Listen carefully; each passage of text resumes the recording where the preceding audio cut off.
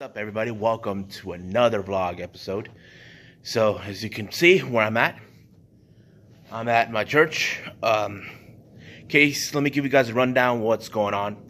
Um today tomorrow and possibly next saturday which is the 15th of december we're still trying to get everything ready for the Cantata with the other service i normally help out uh but I'm also trying to see if I can get my parts for the musical number I'm going to do on the 23rd of December, which is a day before my birthday.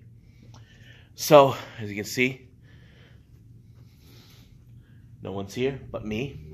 As always, I'm always the first one here and the last one to leave.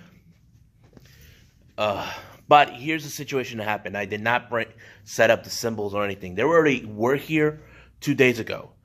Uh, story behind that, if you guys are from the San Diego area, or you guys may have heard this on news, we had heavy rain, and I was counting on the, the rehearsal for tomorrow will be canceled, but I mean the rehearsal for for that day will be canceled, and we just come here and play the songs we already know. But no, you can see I already have my cymbals set up, all that. It did not happen that way.